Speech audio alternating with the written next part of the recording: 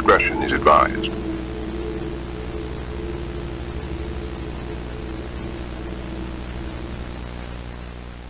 Hello and welcome. Your safety is our priority. As you embark on your experience, please take, take note and remember these few tips to ensure a safe and pleasant journey. Stay calm and composed.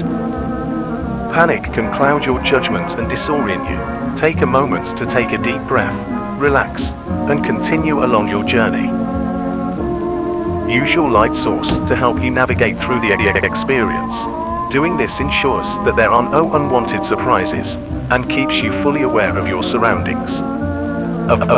avoid making eye contact with any unfamiliar faces. This is mandatory, and failure to do so will result in an overwhelming and self